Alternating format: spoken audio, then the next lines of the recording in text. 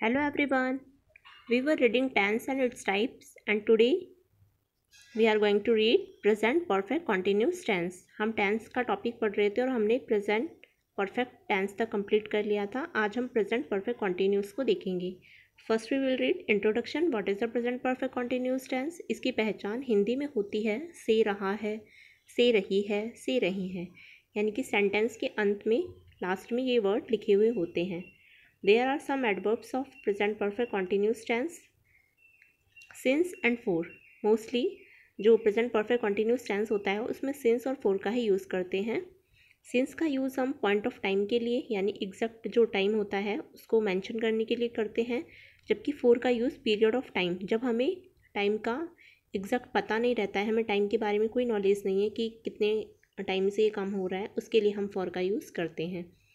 Now structure how to frame in sentence first simple sentence subject plus has have plus been plus verb की first form के साथ G plus object plus since for plus present time simple sentence में sentence को बनाते हुए सबसे पहले subject का यूज़ करते हैं उसके बाद में यहाँ पे हेल्पिंग वर्ब हैज़ हैव के साथ में बीन का यूज़ करते हैं क्योंकि जो टेंस है वो प्रेजेंट परफेक्ट कॉन्टीन्यूस टेंस है और उसके साथ वर्ब की फ़र्स्ट फॉर्म के साथ आई का यूज़ करते हैं। देन ऑब्जेक्ट और ऑब्जेक्ट के बाद में यहाँ पे सिंस फोर का यूज़ करते हैं और जो टाइम हमें गिवन होता है, वो यूज़ किया जाता है। Now negative sentence subject plus has have plus not plus been plus verb की first form plus I plus object plus since for plus present time negative में सिर्फ़ हम नॉट का यूज़ करेंगे, बाकी जो सेंटेंस नेगेटिव सेंटेंस का जो सेंटेंस है, वो सेम रहेगा सिंपल सेंटेंस की जैसे, बस नॉट का यूज़ करेंगे हेल्पिंग वर्ब के बाद में। Now interrogative sentence how to frame in in interrogative sentence first of all we can use W H word then has have plus subject plus been plus verb की first form के साथ I N G then object plus since for plus present time plus question mark interrogative sentence बनाते हुए सबसे पहले W H word का use करते हैं। उसके बाद में हमारी हेल्पिंग वर्ब देन सब्जेक्ट और यहाँ पे बीन का यूज़ हम सब्जेक्ट के बाद में करेंगे। उसके बाद में वर्ब की फ़र्स्ट फॉर्म के साथ I N G then object और जो सिंस फोर है, क्योंकि ये प्रेजेंट परफेक्ट कॉन्टीन्यूस टेंस है तो सिंस फोर का यूज़ करना नेसेसरी है। उसके बाद में present time plus question mark because this sentence is interrogative sentence note he she it name या अदर सिंगुलर सब्जेक्ट के साथ में we can use has been plus I N G plus time अगर singular subject की बात की जाए तो वहाँ पे हम हैज़ बीन का यूज़ करेंगे। Next is I we you they and other plural subject के साथ में we can use have been I को हम प्लूरल फॉर्म में ही रखते हैं और इसके साथ में हैव बीन का यूज़ किया जाता है।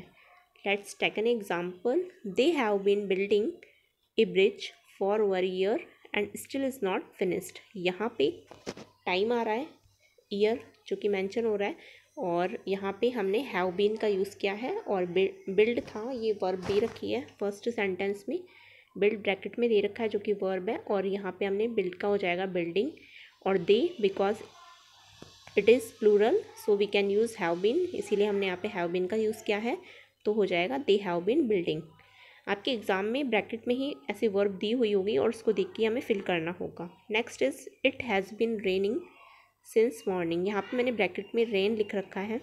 इसके अकॉर्डिंग ही हमने यहाँ पे फिल करेंगे। तो इट क्या है? इट सिंगुलर है।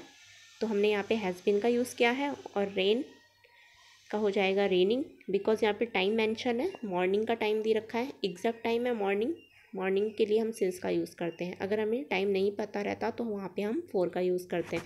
अब यहाँ पे ईयर की बात हो रही है। फ़र्स्ट सेंटेंस में ईयर दिया हुआ था, जो कि हमें नहीं पता कि कितने ईयर से या कौन सा ईयर था, तब जो ब्रिज था वो बनना था, वो बन रहा था।